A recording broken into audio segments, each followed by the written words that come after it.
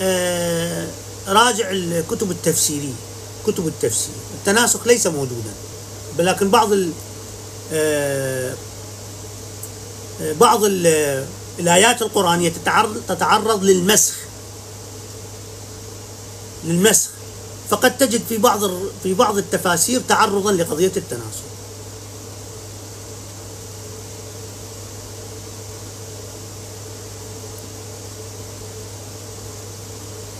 يا الله.